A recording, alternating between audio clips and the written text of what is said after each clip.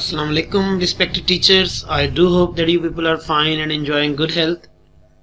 आज जो हम सीखने जा रहे हैं जो एक इशू बहुत सारे टीचर्स को आया है आता रहता है उस इशू को हम finally once for all resolve करना चाहते हैं आपको एक इशू आता है कि आप जब मीटिंग ऑन uh, करते हैं तो बहुत सारी बार ये होता है कि आप मीटिंग में जा नहीं पाते एंड मैसेज आ रहा होता है कि सामान will let you in wait या बाज़ बहुत सारे स्टूडेंट्स ज्वाइन नहीं कर पाते बिकॉज़ uh, आप लोगों को उनको एडमिट करना पड़ता है ड्यूरिंग लेक्चर आपको बहुत ज़्यादा डिस्टर्बेंस पेश आती है बहुत सारे स्टूडेंट्स को दैट इज़ वाई वो मीटिंग में ऑन नहीं होते वो लॉबी में रह जाती तो ये जो मसाइल आपको आए हैं मीटिंग ज्वाइन करते हुए या स्टूडेंट्स को ज्वाइन करवाते हुए उनका मैं एक सोल्यूशन देने जा रहा हूँ आप लोगों को बताने जा रहा हूँ कि आपने आइंदा से मीटिंग की सेटिंग्स करनी है।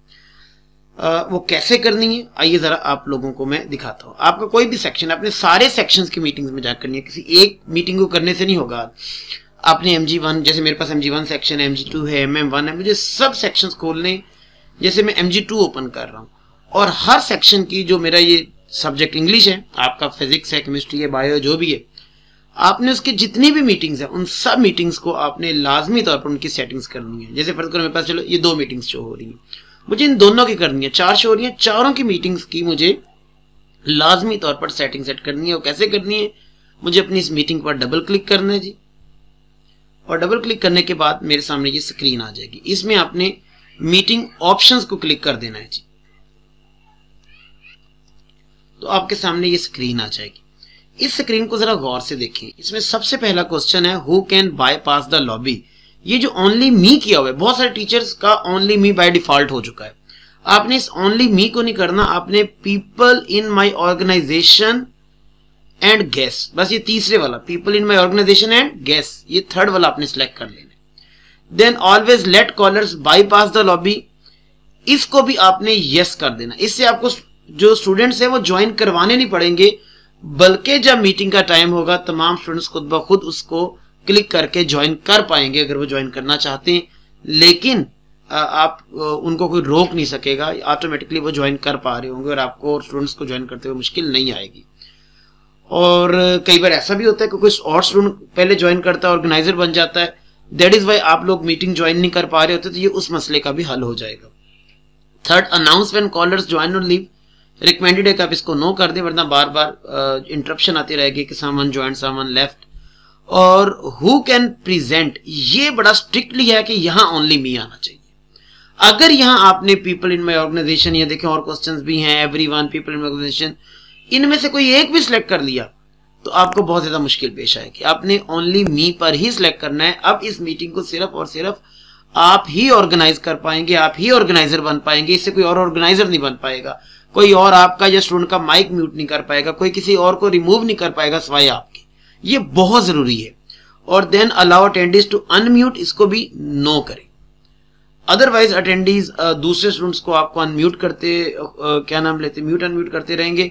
आप इधर नो कर देंगे तो ये बेटर है कि आप इसको नो कर आ, कर दें। और फिर आप जब क्लास चल रही होगी उसके अंदर जाकर आप को ऑप्शन मिलेगा कि आप एक अटेंडी को म्यूट अनम्यूट कर सकते हैं। वो भी मैं एड पर एंड बताता हूँ। वो आपने ये एंड पर क्या कर दिया जी? सेव जब तक ये डन ना लिखा है आपने ये इसको डन क्लियर कंफर्म नहीं करना।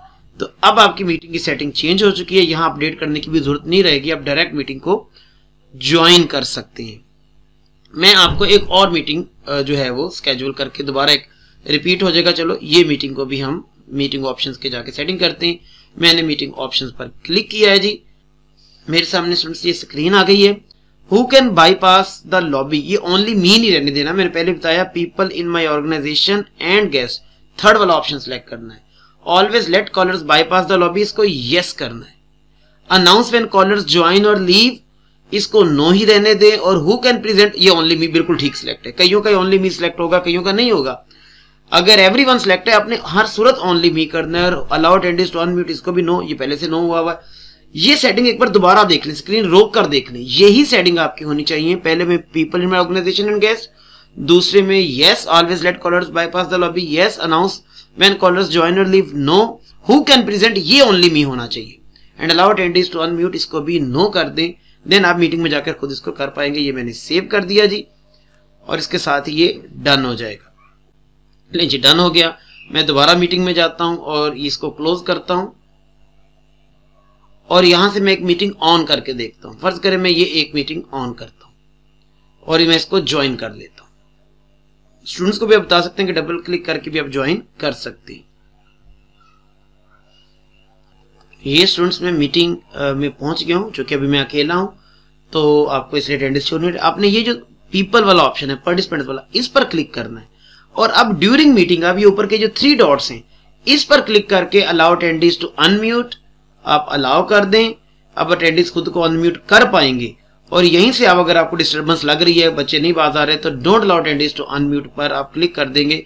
इससे बच्चे बिल्कुल भी अपने आप को म्यूट और अनम्यूट नहीं कर पाएँगे और वो बिल्कुल आपका लेक्चर स्टैटिकली उनको सुनना पड़ेगा।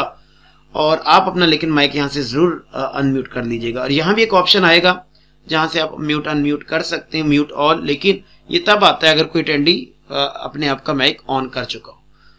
तो रिस्पेक्टेड टीचर्स लाजमी तौर पे अपनी ये सेटिंग्स लाजमी तौर पे अपनी सारी मीटिंग्स की ये सेटिंग्स सेट कर देंगे। ये ऑब्लिगेटरी है अदरवाइज़ आप अपनी मीटिंग्स अपनी क्लासेस सही तरह से नहीं ले पाएँगे। Thank you ji thank you very much